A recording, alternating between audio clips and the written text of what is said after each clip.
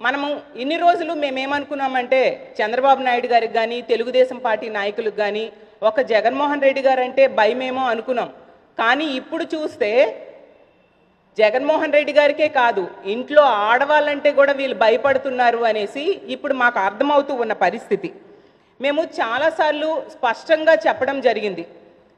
జగన్మోహన్ రెడ్డి గారు చేస్తున్న పాలసీలు పరిపాలన మీద మీరు మాట్లాడండి. అన్నింటికీ మా దగ్గర సమాధానం ఉంది మేము చెప్తాము. అంతేగాని ఇంట్లో ఆడపిల్లల మీద భారతమ్మ మీద మీరు వ్యక్తిగత విమర్శలు చేయొద్దు. చేస్తే మీ తాట తీస్తామని చాలాసార్లు చెప్పడం జరిగింది. మాకు తెలుసు మీ చంద్రబాబు నాయుడు గారి భార్య అయిన భువనేశ్వరి గారు అలాగే మీ లోకేష్ గారి భార్య అయిన బ్రాహ్మణి గారి తాలూకా అన్ని సంగతులు మాకు తెలుసు. కానీ ఇంట్లో ఆడవాళ్ళ కోసం ఎందుకు మాట్లాడడం లే అని చెప్పి మేము ఇన్ని రోజులు ఊరుకున్నాం. కానీ మా భారతమ్మ మీదకి ప్రతిసారి వస్తూ ఉంటే మేము దీన్ని సహించేది లేదు.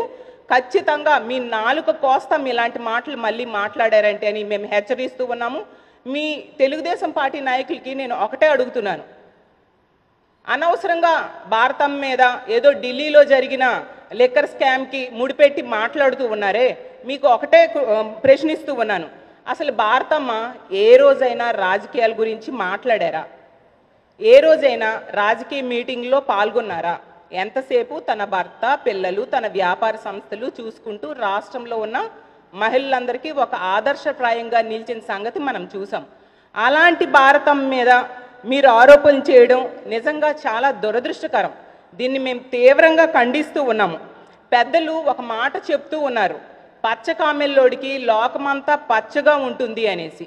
అదేవిధంగా మీ భువనేశ్వరి బ్రాహ్మణి గారులు చేసే దందాలు అలాగే ముడుపులు తీసుకోవడం అలాంటివన్నీ కూడా మిగతా ఆడవాళ్ళందరూ చేస్తారని మీరు భావించడం వలన ఈరోజు మా భారతమ్మ జోలికి ఈ విధంగా వస్తూ ఉన్నారు.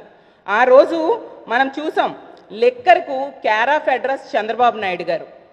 ఎందుకంటే చంద్రబాబు నాయుడు గారి కాలంలోనే అన్నింటికి అనుమతులు వచ్చిన సంగతి మనందరికీ తెలుసు. రాష్ట్రంలో ప్రజలందరికీ తెలుసు. అసలు రెండు వే- రెండు ఎకరాలున్న చంద్రబాబు నాయుడు గారు ఈరోజు రెండు లక్షల కోట్ల ఆస్తి ఎలా సంపాదించారు? కేవలం పాల వ్యాపారం వల్లంటే ఎవరైనా నమ్ముతారా? దాని వెనక ఖచ్చితంగా భువనేశ్వరి గారి అలాగే బ్రాహ్మణి గారిలా లెక్కర్ వ్యాపారం ఉందని ప్రజలందరికీ తెలుసు.